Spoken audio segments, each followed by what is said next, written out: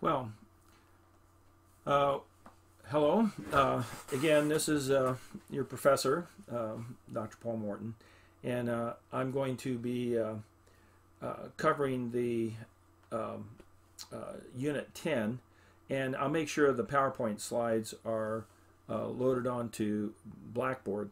So it would probably be smart for you to make sure you can see those slides um, and follow along with me as we go. Um, so let me just pause a minute uh, and give you a chance to get those all set up.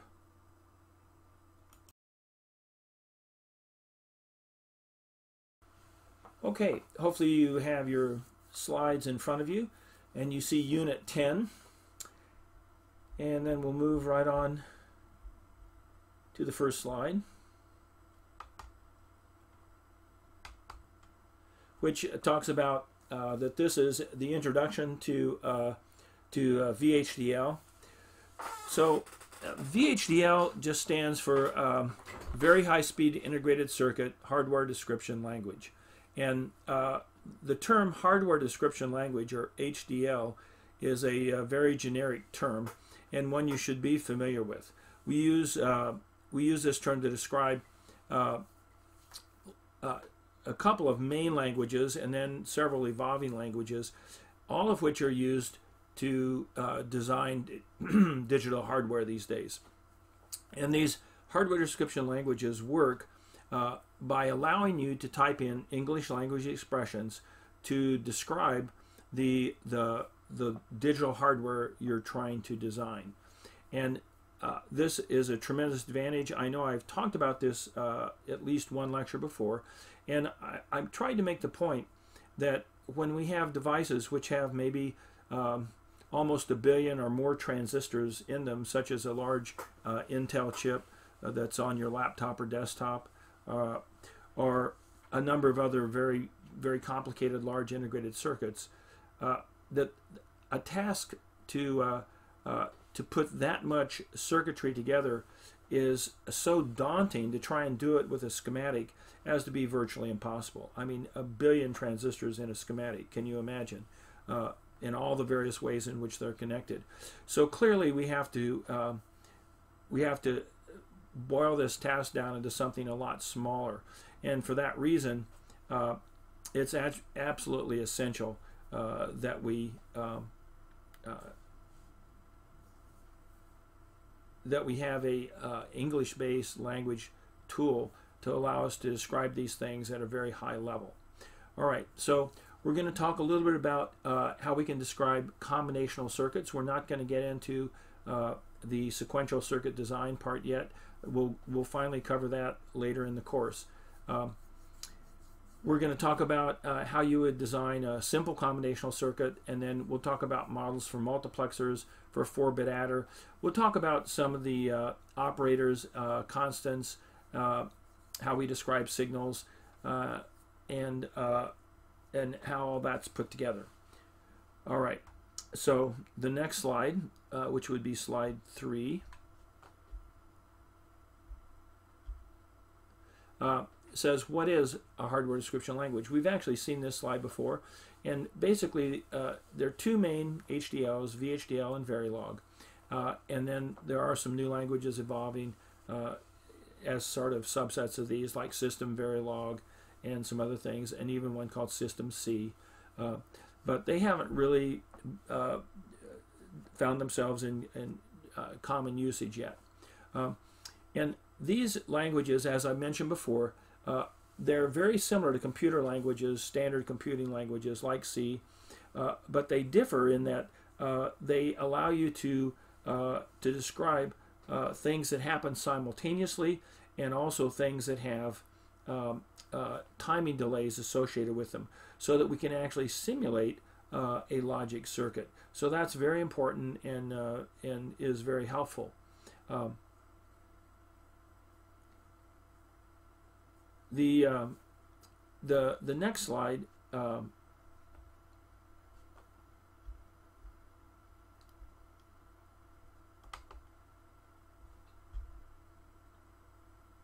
is um, so uh, normally, the way we do designs using these hardware description languages is to break the design down into uh, modules, and then we develop, uh, we uh, work out all the bugs out of a particular module, and then we slowly build these up into a, a large system that becomes, say, a, a single integrated circuit. Um, uh, the advantage of this is that it allows us to simulate smaller parts and then simulate the whole thing together. It also allows us to use our smaller parts to reuse our smaller parts in other designs, and um, and it allows for us to to put together a number of these modules and build up a very complex system in that process. Um, the other thing that's very helpful is that we can create an additional feature which we call a test bench where we can actually simulate uh, the design uh, in this test bench, which is just some more uh, software in, written in the same HDL uh, language. Uh, and we can actually simulate our module so we know that uh, that it's going to work, do functionally what we want it to do, but also that it'll also allow us to measure uh, the events that happen in, in a real-time setting where we have built-in uh, propagation delays and transport delays and other timing events so we can actually see if we do have uh, timing closure, if we have uh, things happening fast enough to run the clocks at the speed we want to, or if the time involved uh, causes some signal to be delayed in its arrival and thus giving us a false result. So these test benches are a very important part of the entire process of making an integrated circuit or uh, a bit file to, to uh, program a, uh, a programmable logic device. Um, so, so the next slide, slide, uh, uh, actually I skipped one here. Let me back up. So, um, no, I guess I didn't. That was four. So now you should be on slide five. So the way we uh, break this down, we normally talk about uh, three different levels of description: behavioral, data flow, and structural. Now these are not um, these are not uh, etched in stone. There's some uh, there's some um, uh, interplay between the different distinctions, and and to some extent they're they're they're not as clearly defined as perhaps we would like. Um, the uh,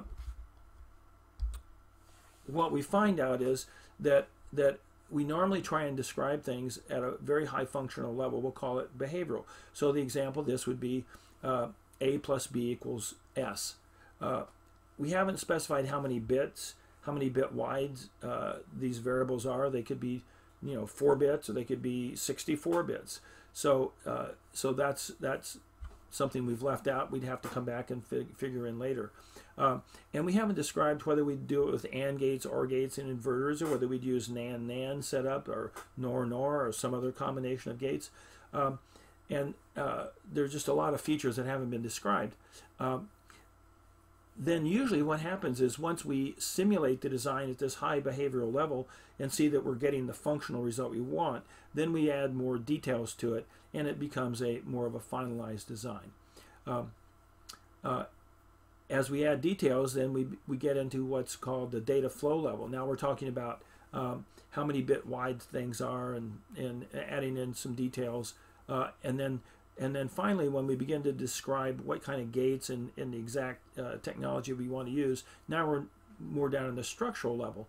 And at this point, uh, somewhere in here, we allow the, the, the synthesizer that's part of these big hardware development uh, environments to uh, to go ahead and generate the complete net list, uh, generate all the various uh, um, uh, uh, photo masks and steps that we need to take to actually go to the foundry and make a chip. Um, and and that get, brings us to the physical implementation, which which is will have a real part in our hand. Or if we're using a programmable logic device, then it would give us the bit file to download into the programmable logic device to configure it to become the hardware we want we want it to be. And so, uh, so that's how these things work. Um, if we go to the next one, uh, we see that there's a history of this and that it's uh, evolved through a number of IEEE standards. Both uh, the VHDL world has and also the Verilog world has.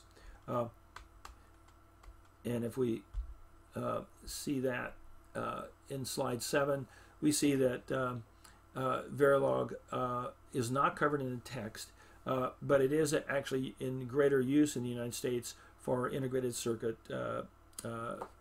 construction. So most foundries are using VH Verilog generated um, files to actually do the the the the, the, the creation of an integrated circuit. Um, this came from the C language uh, and Cadence Design System, which still makes um, many of the tools for developing integrated circuits um, in their big uh, integrated development uh, suite of software, uh, acquired Verilog in 1985, and uh, and they've been expanding its development and and uh, improving it ever since. And they're one of the major players in this.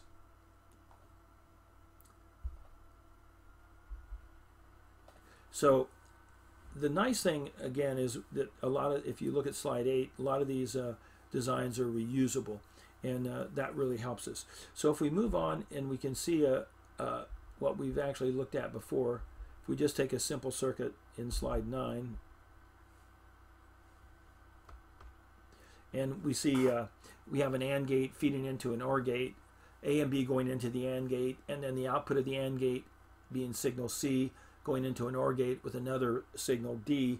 Uh, we can we can model this by saying that C is replaced with uh, A ANDed with B after 5 nanoseconds. So now we're saying that the propagation delay through this AND gate is 5 nanoseconds. And then we're saying the signal out of the OR gate, E, is a result of C ORed with D after 5 nanoseconds. So again, we're, we're showing that the, the, uh, the propagation delay through the OR gate is also 5 nanoseconds. Now, if you look just to the right, you can see we have uh, a, a sign C, pound 5 equals A ampersand B, and uh, a sign E, uh, pound 5 uh, C equals ampersand uh, C bar D, which is ORing. So we use, instead of the words AND, in, very, in, in VHDL, we use in Verilog the ampersand for AND, and uh, in VHDL we use the word OR for ORing, but in in in a Verilog we use the vertical bar, uh, very similar to uh, the same uh, operators we use in the C language, um, and that's because Verilog uh, comes out of C. Um, and you can see in both cases we're able to specify these propagation delays of 5 nanoseconds.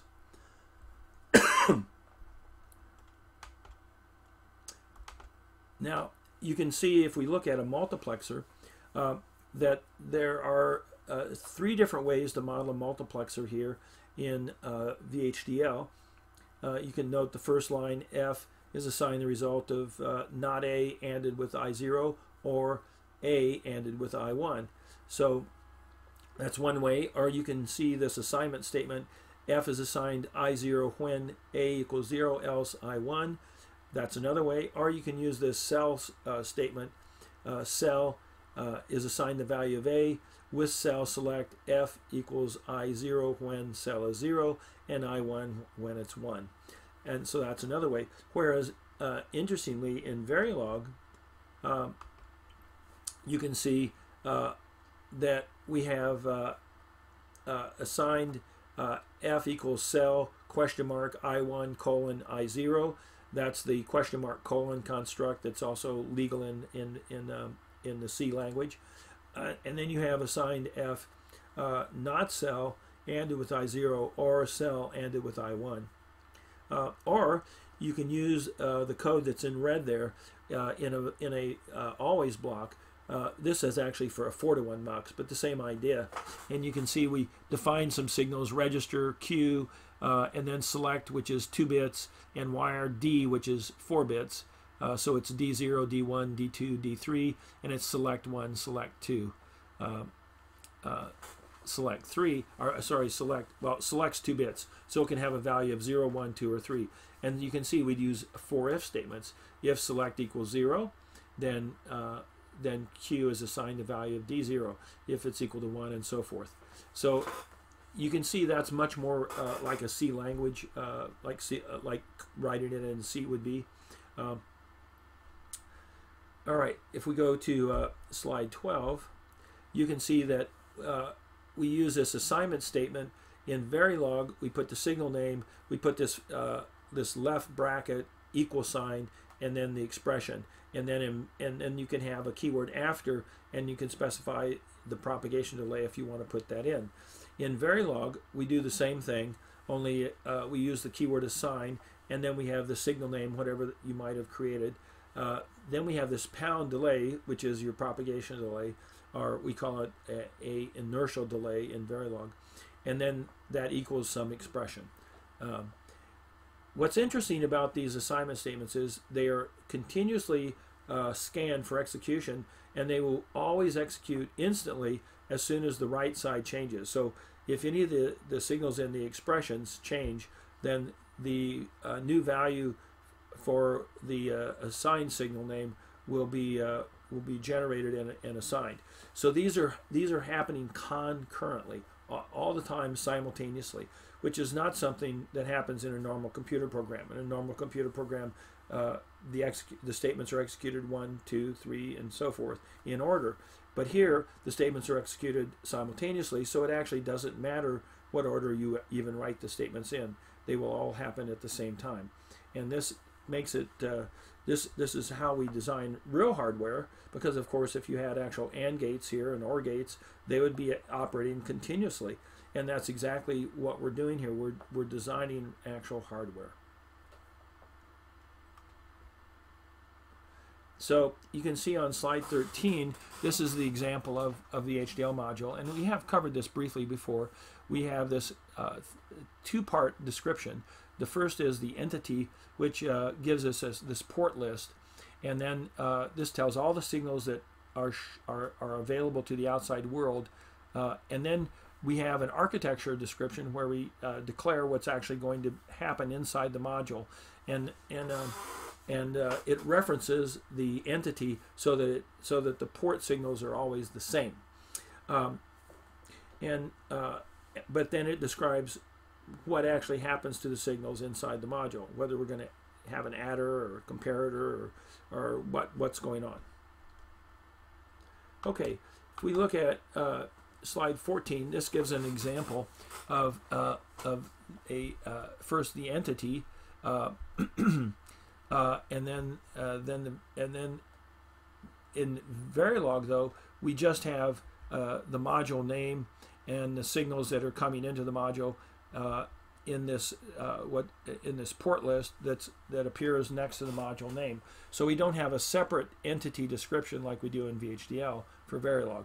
We put it all in one one um, one uh, module description, and then um, you can see then in the uh, in VHDL we take the uh, the entity. Uh, in this case, it's a full adder and uh, and so we're going to describe uh, first the port list and the entity uh, description.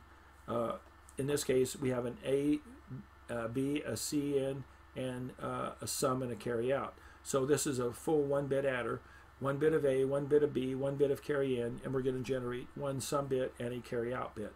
And these are all specified as standard logic uh, descriptions, which which are fairly well defined by IEEE standards for this language. Um, and they can only assume certain values. We'll talk about that in a minute. And then we define the architecture where we show how these signals are actually used. Sum is just A exclusive ORed with B exclusive ORed with C in. Now here we haven't specified a propagation delay.